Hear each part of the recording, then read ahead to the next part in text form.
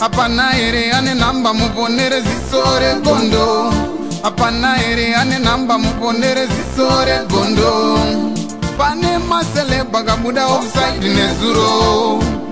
Pane maselebha akabuda offside nezuro. Edzinoinhau dzeshona kwete chindau dzichiverengwa naye wenyuskimba anofumura anoita timu yangu ndeipe mukuita sei? Ikazodzoka zvakare zviri kupisa naskimbo aiwa zviri kupisa katokupe timu yangu. Pasatapinda pane zviri kupisa nasichi mongobayo button subscribe. Satata musare pane zvese zvineichitika zviri kupisa pazuva regono tv anditi prophet uh, ndisimba java kama kasimba here prophet? Ndisimba yes yes prophet. Uh, nenyaya yangu ka. Eh, i think uh, i spoke to to our teacher concerning the issue young yangu with the family. You see prophet what is happening and right now I'm, i'm in my right senses. Now i'm facing reality.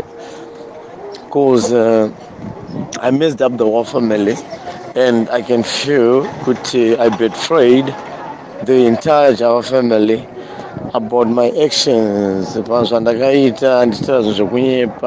of the use of madrugs and the use of uh, zvinhu zvisiri right nekufuririka neshamwari because now i'm looking at my age i'm 35 now but I've, i don't have anything. And life yandaibuda nayo yandinobuda nayo ndiri painternet that's not the life that i'm living. The life i'm living is i'm not stable at all. So issue yandikuda prophetica mostly the main issue that i need and the only issue that i want for now. Zvida family inokwanisa here kundiregererawo pane everything zvandakakanganisa to you to apostle to pastor isaac maybe mercy and others and including amaijava ndokumbirawo kuti mundiregerero because a lot of the thing that i'm trying to do is not happening ndokwanisa kunzi ndabata contract hazisi kubuda. Ndokwanisa kunzi itai zvazisi kubuda itai zvazisi kubuda itai zvazisi kuita. Because i can feel kuti maybe ndikuita minyama yekuti i betray the family. People are bitter with me even pakarwara moms. I was uh, thinking kuti maybe I, I might be right kuti sendisina kuudzwa but ndakatozoona kuti it was right even not to tell me because it seems as if ndakabetray a family but yes it's true I betrayed the family. That's why maybe I was not considered. Uh, if uh, my Java's illness. Iripo ndekuti prophet.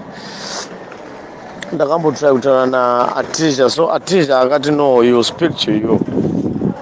And also inyaya yekuti ndanga ndisina phone. So i lost apostle javas number.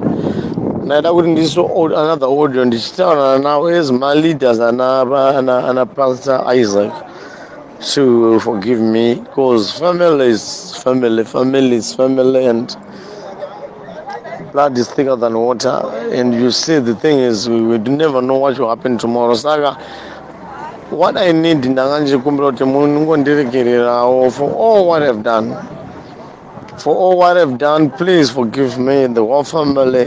I'm just begging vandiregererewo oh, then so that I, I can maybe 2021 maybe i can achieve something.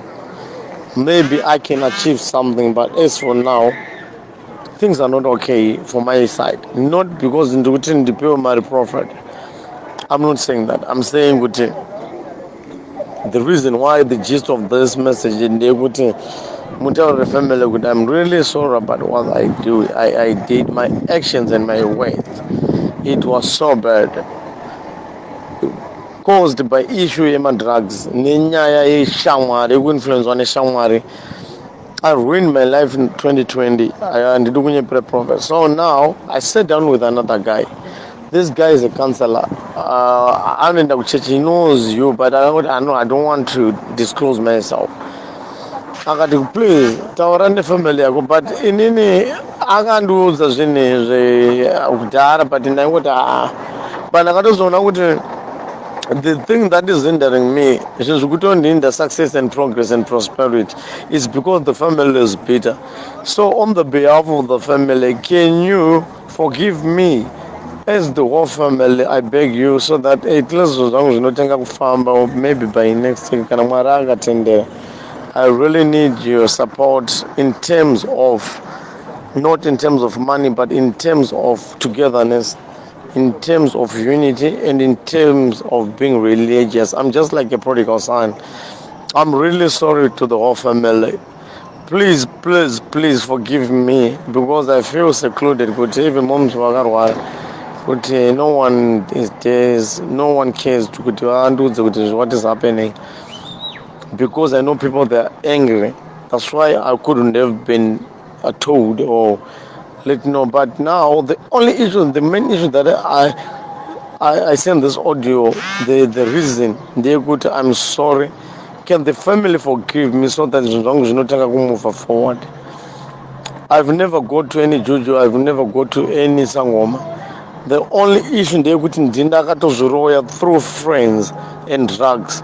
So can you send prophet this audio to the family so that they will decide what will be uh, what what can be done in, on the issue of forgiveness so that you can reconsider me in the family. Please i trust you. God love you. I love you prophet passion java.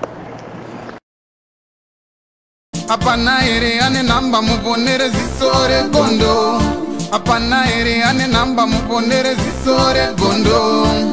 pane nezuro pane maselebha kabuda offside nezuro edzinoinhau dzeshona kwete chindau. Dzichiverengwa naye wenyuskimbo anofumura anoita